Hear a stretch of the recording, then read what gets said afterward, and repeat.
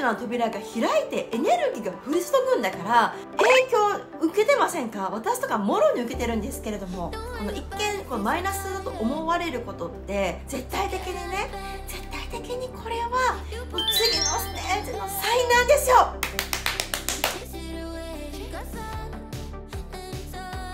あなたの世界にディランス杉口かでございます。このチャンネルは自分のことを大好きになって大好きな中に送りやすいから忘れる方法を伝えているチャンネルとなっております。はい本日のテーマはこちら。ステージアップするときに起きる人との別れについてお話をさせていただきたいなと思います。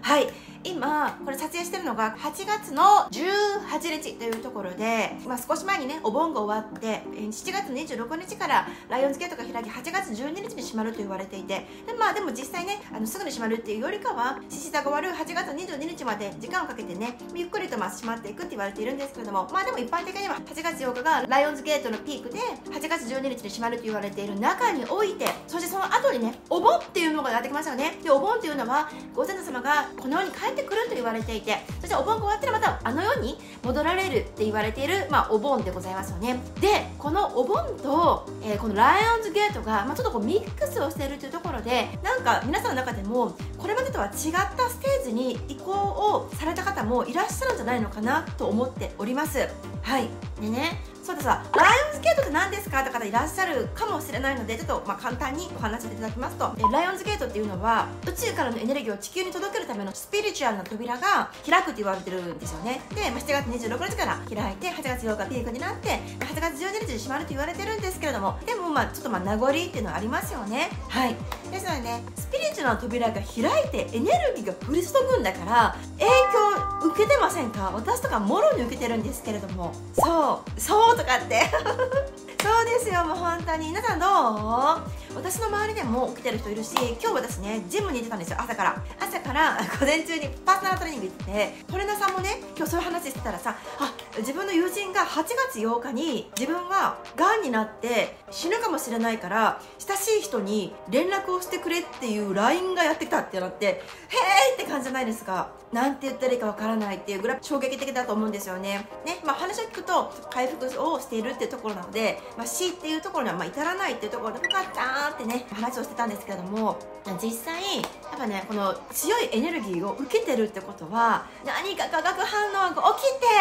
私たちはステージアップしてるのよ。だってエネルギー降り注いでるんだよ。だからね私もねあのこれネガティブな話じゃないです私今おっぴろぐらい性格なので、まあ、話をさせていただきますと,、えーと、2016年から起業をスタートしておりまして今2022年ですよね。で起業初期から私のこのジムをサポートしてくれた、えー、まあ、スタッフのねお一人の方がねいきなりね、まあ、ちょっと病気がまあすごく悪化してちょっと療養に入るってところで、まあ、仕事をねもう辞めるっていうところになったりとかで、まあ、その方以外にも私のこの中でですね2年ぐらいにわたってお世話になっていた方がいるんですけれどもその方との、まあ、契約ですかね、まあ、それも私ももう終了しようと思ってなんか自分にとってすごく大切な存在だった方たちが自分の本当にこう宇宙のお導きかのようにさってこう落ちちゃったのよ。そう。ポジティブな感じで。こうネガティブだと思ってたらあれだけど。で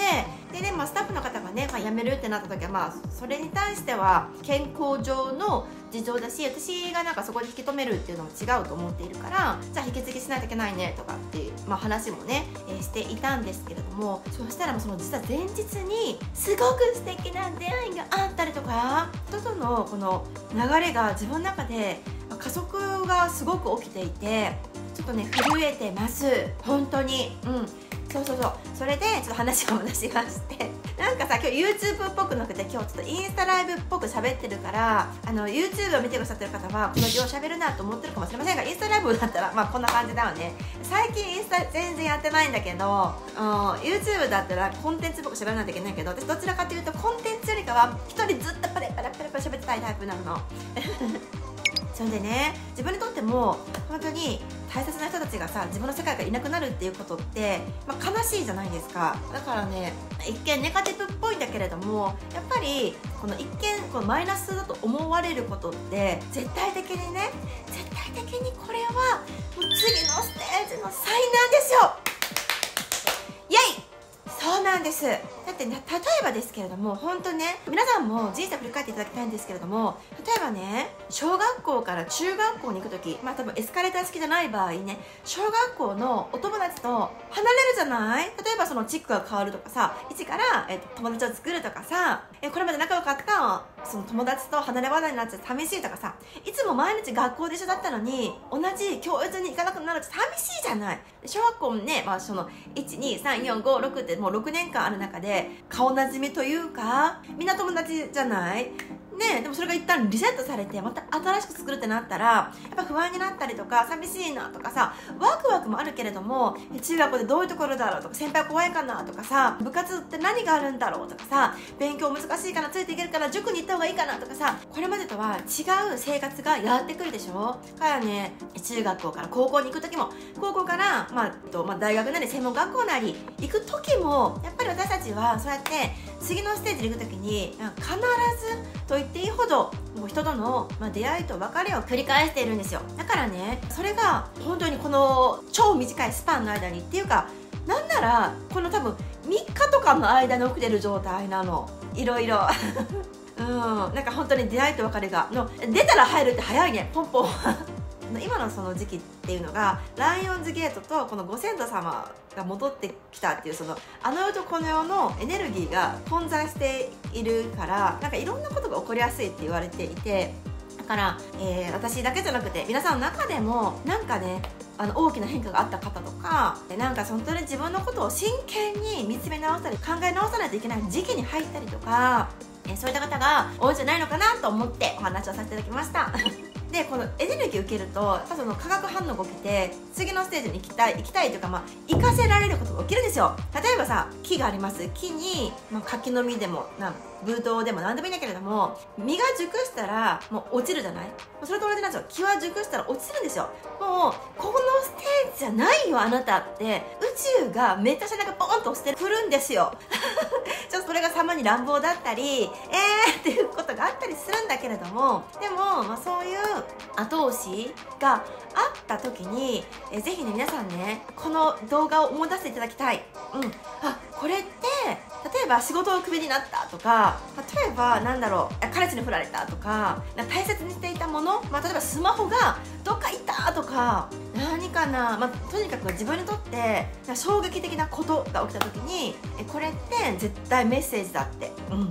例えば病気になったら自分のことを、えー、しっかりと見てあげないといけないから病気に起きていることとかもあるじゃないですか。例えば、えーとまあ、子宮系とか、まあ、婦人科系ですね。婦人科系の、ま、疾患がある方って、え、自分の女性性をないがしろにしていたりとか、まあ、自分のことをなかなか出せなかったりとか自分の思いをずっと抑圧していたりとか自分の気持ちより他人の顔色とか世間の期待とか、うん、例えばいい奥さんでいなければならないとかいいお母さんじゃないと自分はダメだとかそういう固定概念とかしがらみで自分の思いとか気持ちをもう無視しちゃっている方とかってそのストレスがこの病気を生むって、まあ、言われているんですよね。でも実際そうではね。病気の原因って活性酸素でしょ？活性酸素の元ってストレスだからやっぱねこのストレスなく生きるっていうためにも自分の思いをちゃんと自分で見てあげるっていうことがめっちゃ大切なの。うん。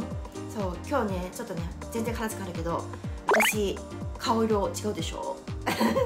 ライトがここにねものすごく上げてるんですよ。なので光ってるかもしれない。眩しいんだからライトが。はい。ということで本当に自分のステージアップする時っていうのはおのずと人との出会いと別れっていうのがやってきます。もう本当に思い返すと私もさ初めてね1冊目の本「妥協するなら結婚するな」って本出した時にもうすごく仲良かった友達がいたんですよ。もうすごく仲良かったの。本当にそしたら私は引き続き仲良くしたいじゃないの。でもねそれをご縁が終了しちゃったりとかなんかまあそれはその時はすごくショックだったりとか。でやっぱその自分のステージが変わる時に、まあ、人とのそういったことがありましたね、まあ、でもねまたこのどこかで会えたらいいなと思うしだからステージアップする時っていうのは本当に場所が変わるってことだから、うん、高校に行ってたけども大学っていう場所に行った。大学を卒業したらこれまで毎日のように会ってた学生時代の友達じゃなくて、まあ、会社に勤めるとかさ新しい環境を築かないといけなかったりとかして自分がやっぱその全然違うステージにいるわけじゃない。転職もそうだと思うし実際私はまあ転職とかじゃなくて自分でビジネスやってるのでちょいちょいね こういうことが起きてうん楽しんでます。